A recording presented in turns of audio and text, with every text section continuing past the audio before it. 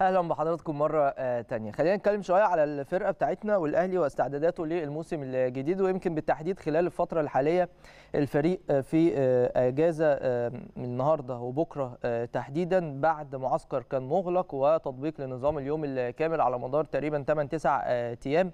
الأهلي كان مركز فيهم من خلال معسكر مميز جدا عن طريق المدير الفني الجديد آه، مارسيل آه، كولر المدرب السويسري. المعسكر ده تخلله عدد من المباريات الودية. أول مباراة كانت قدام بتروجيت الأهلي فاز 5 1 تجربة أكيد كانت مفيدة. المباراة الثانية كانت أمام أسوان. الأهلي فاز بنتيجة 2 1 أيضا كانت تجربة آه، مفيدة. والمباراة الأخيرة اللي كانت يوم الخميس كانت قدام طلائع الجيش واللي انتهت بالتعادل السلبي بدون أهداف. أيضا أكيد كانت تجربة مفيدة للغاية لأن أنت برضو واجهت فريق متكتل دفاعيا قدامك مع مدير فني آه، جديد.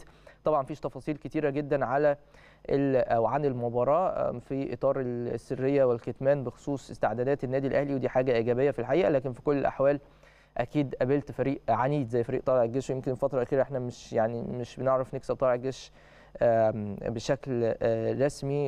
يعني دايما بيبقى فيه سوء حظ في إنك تكسب فريق طلائع الجيش لكن ده مش مقياس اطلاقا لأن البعض برضو اتكلم على تعادل الأهلي مع طلائع الجيش 0 0 ده ماتش ودي تستعد من خلاله. في مدرب جديد عندك كويس انه شاف التكتلات الدفاعية اللي بتحصل قدامك عاملة إزاي عشان يشوف حلول حلول بقى سواء عن طريق اللعيبة طبعا الموجودة السوبر اللي عندك أو عن طريق الصفقات الجديدة اللي آه، بتتعاقد معاها أو تعاقدت معاها. فكل هذه الأمور مهمة جدا وإن شاء الله كل الثقة للجهاز الفني واللاعبين في الموسم الجديد.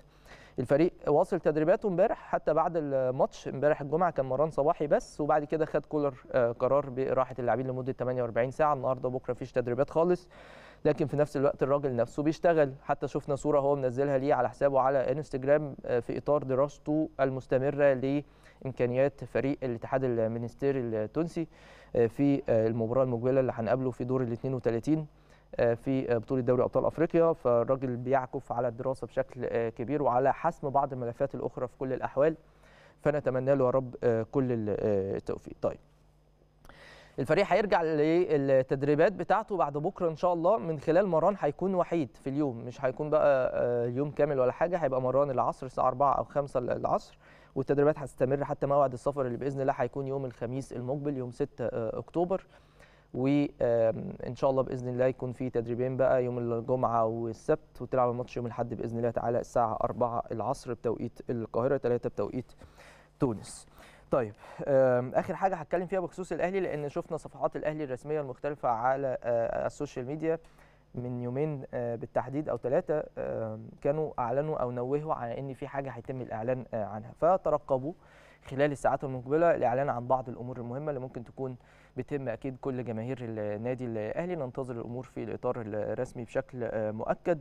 لكن بنطمن الجماهير آه، ده الأسبوع الأخير قبل انطلاق الموسم بالنسبة للنادي الأهلي على الصعيد الأفريقي تحديدا. فأكيد هيكون في بعض الأمور الهامة والأخبار المهمة جدا بالنسبة لجماهير النادي الأهلي. فمش عايز الناس تقلق خالص وتابعوا وترقبوا كل هذه الجوانب المهمة. خلينا نروح لفاصل. بعد الفاصل نرجع نكمل. استنوا.